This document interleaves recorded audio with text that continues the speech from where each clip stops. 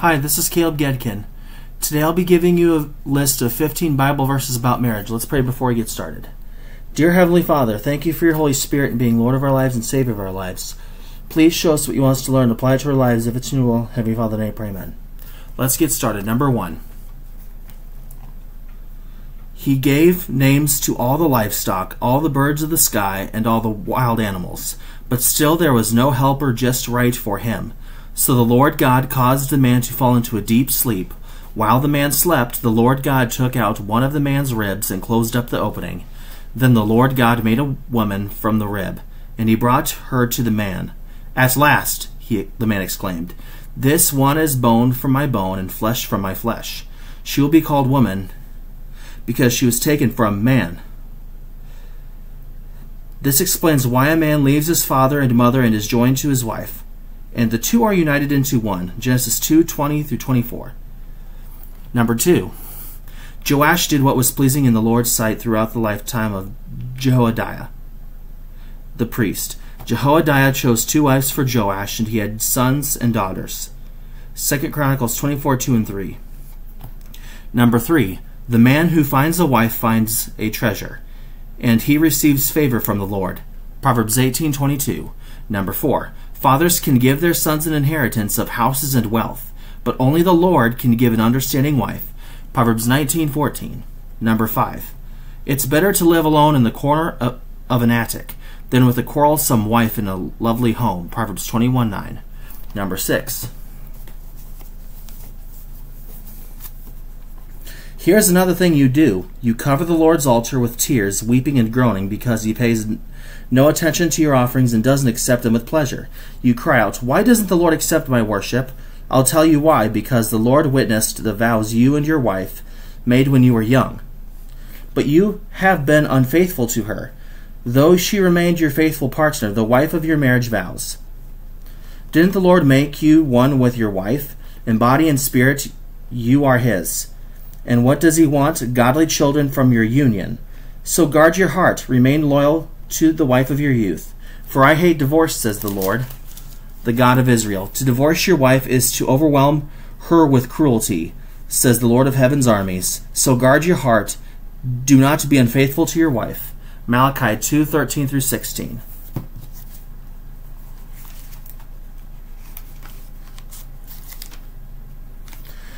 Number 7.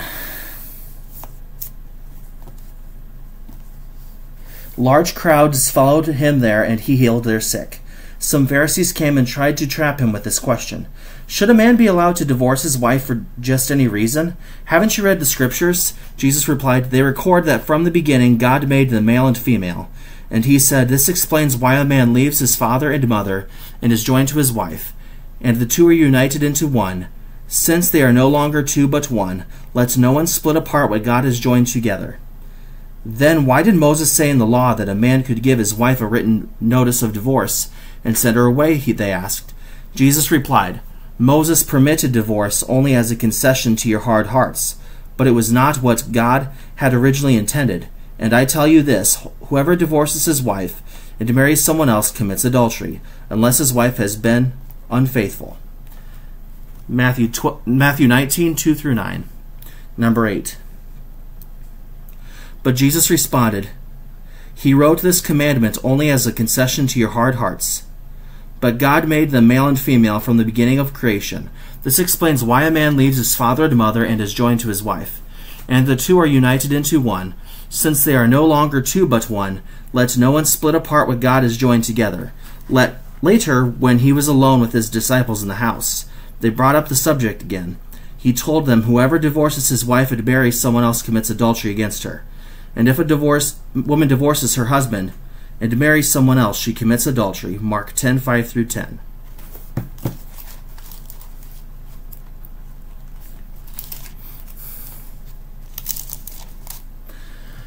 Read 1 Corinthians chapter 7 verses 1 through 40 on your own time. Number 10. Love is patient and kind. Love is not jealous or boastful or proud or rude. It does not demand its own way. It is not irritable and it keeps no record of being wronged. It does not rejoice about injustice, but rejoices whenever the truth wins out. Love never gives up, never loses faith, is always hopeful, and endures through every circumstance. 1 Corinthians 13 4 through 7. Number 11. Don't team up with those who are unbelievers. How can righteousness be a partner with wickedness? How can light live with darkness? What harmony can there be between Christ and the devil? How can a believer be a partner with an unbeliever? 2 Corinthians 6 14 and 15. Number 12. And further submit to one another and further submit to one another out of reverence for Christ. For wives this means submit to your husbands as to the Lord. For a husband is the head of his wife, as Christ is the head of the church. He is the Savior of his body, the church. As the church submits to Christ, so you, wives, sh- should submit to your husbands in everything. For husbands, this means love your wives just as Christ loved the church. He gave up his life for her, to make her holy and clean, washed by the cleansing of God's word. He did this to present her to himself as a glorious church, without a spot or wrinkle or any other blemish. Instead, she will be holy and without fault. In the same way, husbands ought to love their wives as they love their own bodies. For a man who loves his wife actually shows love for himself. No one hates his own body, but feeds and cares for it, just as Christ cares for the church, and we are members of his body, as the scriptures say A man leaves his father and mother and is joined to his wife, and the two are united into one. This is a great mystery, but it is an illustration of the way Christ and the church are one. So again I say, each man must love his wife as he loves himself, and the wife must respect her husband. Ephesians 5, verses 21 through 33. Number 13. Give honor to marriage and remain faithful to one another in marriage. God will surely judge people who are immoral and those who commit adultery. Hebrews 13:4. Number 14. In the same way, you wives must accept the authority of your husbands then even if some refuse to obey the good news, your godly lives will speak to them without words. They will be won over by observing your pure and reverent lives. Don't be concerned about the outward beauty of fancy hairstyles, expensive jewelry, or beautiful clothes. You should clothe yourselves instead with the beauty that comes from within, the unfading beauty of a gentle and quiet spirit, which is so precious to God. This is how the holy women of old made themselves beautiful. They trusted God and accepted the authority of their husbands. 1 Peter 3 1 through 5. Number 15. In the same way, you husbands must give honor to your wives.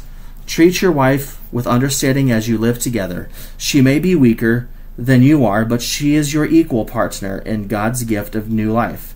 Treat her as you should, so your prayers will not be hindered. 1 Peter 3 7. I hope these Bible verses were helpful and you enjoyed this video. Please let me know what you think, learned, or any questions you have in the comment section below. Please be polite and respectful. God loves you, and I love you too. Bye.